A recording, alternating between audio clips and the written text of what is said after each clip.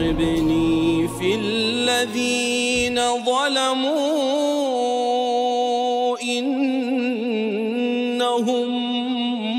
مغرقون. ولد في حضن أم عاشقة للقرآن. عوضت أمنيتها وحلمها بتعلم القرآن في وليدها الصغير. وكان لها ذلك. يفلحون الذي نريده من القارئ فاهما لما يقرأ ومتدبرا لما يقرأ ومتفاعلا مع ما يقرأ. توجهت لأبو الفضل ودعيت بأئمة الأطهار. إنه ربي يساعدني إنه بس ثبت إيدي لو إنه بالنهار نص ساعة. وكانت الفكرة إنه بلش بأول مصحف. ولا يخشون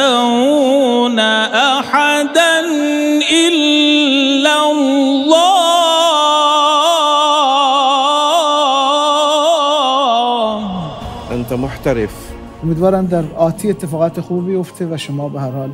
طلتك رائعة وتلاوتك ماتعة ووقوفاتك مبدعة. بارك الله بك بيت واحد أخرج هذه النخب وهذه الأصوات الشجية ما شاء الله. بالفعل آل الزيرك حناجر صيغت من الضوء النقي.